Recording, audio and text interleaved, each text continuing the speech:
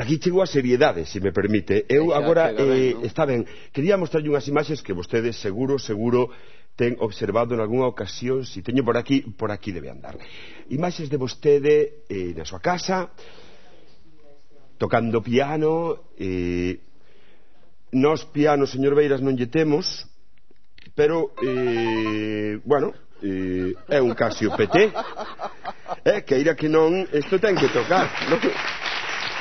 Eh, non sei moi ben como vai, pero creo que se lle dá unha tecla salta como un ritmo, non? E aí búsquese la vida, eh, non que se outro. Eh, se lle dou aquí pode tocar.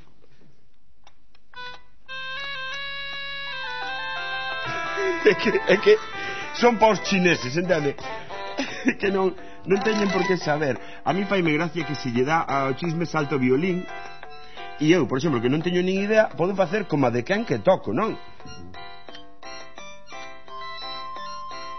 E faz como cando escribes a máquina, igual. Con dous dedos, é que, que lle quere, non? É que non hai máis.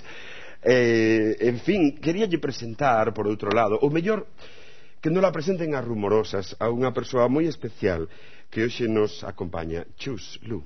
Pois me lo pido e póñome de pé póñome en pé porque a ocasión penso que o require, porque quero presentarvos unha muller autodefinida como unha iluminada nacionalista e vou na presentar con palabras que o mismo Beiras lle escribe nun libro, lle adica nun libro, e son para a Susana decote sublime, decote solidaria, decote esperanzadora, con todo o agarimo irmandiño de Xosé Manuel Beiras para Susana Paspallás. Susana Paspallás, señoras e señores.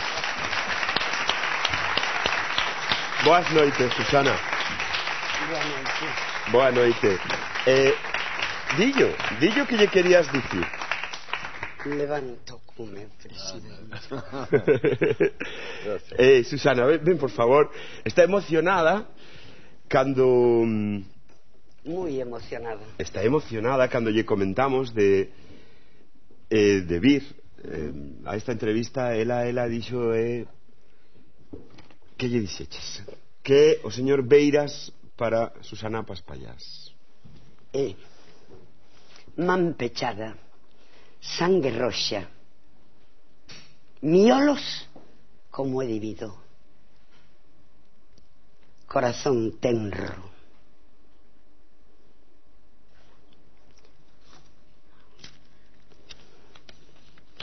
Isco.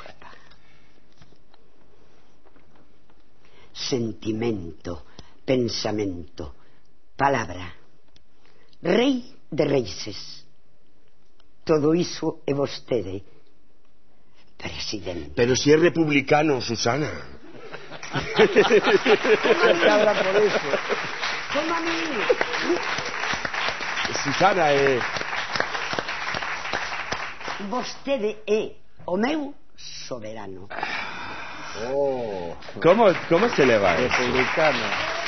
Un soberano republicano. Observa aínda este, non digo o comportamento de Susana, que é un comportamento dunha muller eh, vehemente, non? E unha muller eh, unha muller especial como ela, pero si nota aínda o agarimo da xente diñe cousas como ai, beiras, dalle, dalle e tal, si. Sí. sí, é verdade que sí, é dicir, eu móvome sempre moito polo país adiante, non? Sempre eu, por exemplo, nos na etapa máis dura de máis eh, agobiante traballo político institucional eu non facía política nun despacho eu andaba polo país adiante recordo cando me, me sacaban sempre eh, a tele de Fraga eh, do pequeno Goebbels sí, a comezo sí. dos 90 o presidente da comisión de festas do Xacobo no? Eh, eu iba por aí a xente decíame nas gasolineiras, nos peiros, decíame, señor Beiras, aínda que dar máis caña, non? Entón mm. estaba tranquilo, non? pero sigue habendo eh, un contacto da xente comigo mm, moi espontáneo por onde me movo eh, é moi gratificante. Sigue sendo moi gratificando porque de que agora non me correron a cantazos a ningún sitio. Non, non, ainda non.